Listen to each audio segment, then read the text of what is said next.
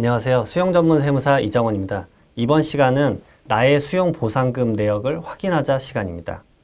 어, A씨의 보상금 내역 그 명세서를 다음과 같이 수령했다고 가정하고 이 보상금 내역을 어떻게 이제 판단할지 하나씩 살펴보도록 하겠습니다. 첫 번째로 수용 사업이 일어나게 되면 본인의 수용 부동산에 대한 등기부 등본, 토지 대장, 개별 공시지가 이런 것들에 대한 서류를 제반 사항을 좀 그 출력을 해 놓으시는 게 저는 추천을 드립니다. 그래서 먼저 이 빨간색 네모 칸에 있는 지번, 지목, 지적에 대해서 그 수용 부동산 관련 서류랑 그 보상금 내역 명세서에 이 사항들이 일치하시는지 꼭 확인하시고요. 혹시나 일치하지 않게 되면 이 보상 사업 시행자한테 수정 요청을 하셔야 됩니다. 두 번째로는 지목과 현황 지목에 차이점이 있는 경우입니다. 지목은 공부상에 있는 지목인데요. 첫 번째 1번 지번의 지목이 현황 지목과 다르죠. 그 목이라고 적혀 있는 것은 목장 용지를 말합니다. 하지만 현황 지목은 창고 용지를 지칭하는 창인데요. 이는 보상액 산정을 위해서 현실적인 이용 상황을 기준으로 감정 평가를 하기 때문에 목장 용지가 아닌 창고 용지, 창고 용지로 쓰이고 있었다는 것을 알 수 있습니다. 실제로 상담을 통해서 들었을 때 A씨는 해당 통지에 창고 건물을 지어서 창고 임대업을 하고 있었습니다. 상기 신도시 대상 토지들이 대부분 이런 경우가 아주 많습니다.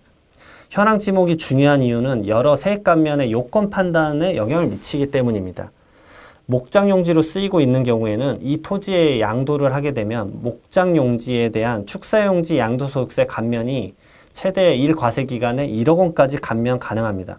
하지만 일본 토지의 현황 지목이 창이라고 되어 있기 때문에 창고용지는 세법상 목장용지가 아니므로 세법상 실질과세 원칙에 따라서 해당 관련 감면을 받을 수가 없습니다. 다음으로 두 번째 지번인데요. 지목과 현황 지목이 둘 다 전입니다. 그리고 이 이를 토대로 A씨가 만약에 실제 농사를 지었다면 제촌 자격 요건 등을 검토하여서 어, 농지 자경 감면이나 농지 대토 감면에 대해서 적용받아서 1과세 기간에 1억 원까지 감면 적용이 가능합니다. 다음으로는 일부 편입은 잔여지 보상을 신청하자라는 사항인데요. 어, A씨의 1번 지번을 보시게 되면 전체 면적의 지적은 1000제곱미터인데 편입 면적은 그 중에 900만 됐고 이분은 지분 면적을 300을 가지고 있습니다. 그러면 이제 나머지 100이 남기 때문에 이 해당 지적의 남은 부분에 대해서 일부 편입이므로 토지 그 수용 토지에 대해서 잔여지에 대한 추가 보상을 받길 원하신다면 토지 수용 위원회나 사업 시행자에게 요건 충족을 확인하여 잔여지 수용 재결 신청을 하시는 것이 좋습니다. 하지만 본인의 토지가 일부만 수용된다고 하여서 모두 잔여지 보상이 되지는 않기 때문에 요건 검토를 꼭 하셔야 합니다. 이번에 집원은 지적 500이고 편입 면적도 500으로 일부, 일부 편입이 아니라 전체 편입이 된다는 걸 알 수 있습니다. 일부 편입에 대해서만 잔여지 보상에 대해서 알아보도록 하시는 게 좋습니다. 마지막으로 보상금 재결은 신중하게 판단하시라는 점입니다. 그 마지막에 금액을 보시게 되면 그 4억 5천과 2억 5천 그래서 총 7억에 대한 양도가액의 수용가액 보상금이 되는데 이 단가라는 걸 보게 되면 150만 원과 50만 원으로 산정이 됩니다. 이 현황 지목당 단가는 인근 토지 소유자와 크게 다르지 않습니다.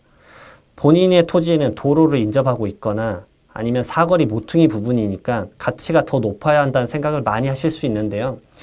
토지 보상금 산정 기준에 따라서는 그런 몇, 그 인근 토지와 보상 금액이 상이한 경우가 생각보다 많지가 않습니다. 토지 보상금이 산정된 상세 사항을 감정평가사에게 문의하고 보상금 증액에 할 수 있는 근거가 있는지를 명확히 확인하신 다음에 보상금 산정에 대한 재결을 하시기를 꼭 바라겠습니다.